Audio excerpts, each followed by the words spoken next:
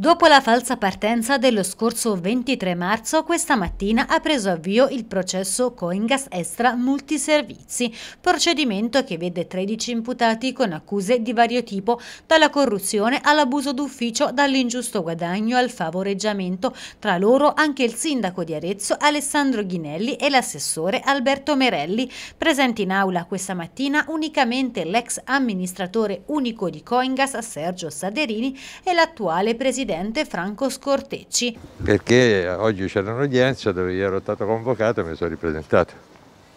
Niente di più. Nel corso dell'udienza preliminare il GUP Claudio Lara ha ammesso la costituzione di parte civile dei 15 comuni soci Coingas. Il comune di Arezzo nelle scorse settimane aveva invece deciso di non costituirsi e di valutare eventuali azioni civili. Il giudice dell'udienza preliminare ha ritenuto che vi sia diciamo così, in ipotesi eh, la commissione di un, di, un, di un, danno diretto anche nei confronti dei singoli soci che eh, fanno parte del consesso sociale di Coingas.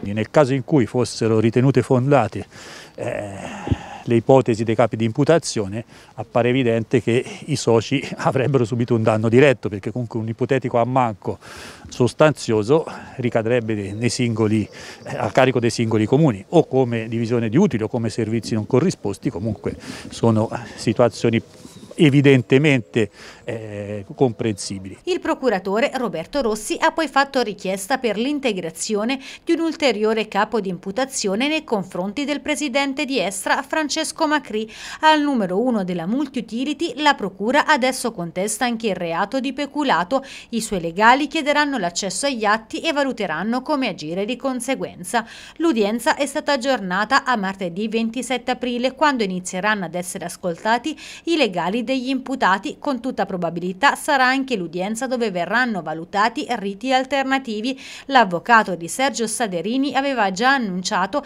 che richiederà il rito abbreviato per il suo assistito. Lei chiederà un rito alternativo? No, ancora non sappiamo nulla. Informeremo al momento opportuno. Grazie. Quindi, in base al calendario stilato dal GUP, l'8 giugno dovrebbe essere la data della decisione sugli eventuali rinvii a giudizio si prospetta abbastanza lunga, le questioni da decidere sono tante, per cui il giudice ne ha previste tre e spera di arrivare a conclusione appunto i primi di giugno.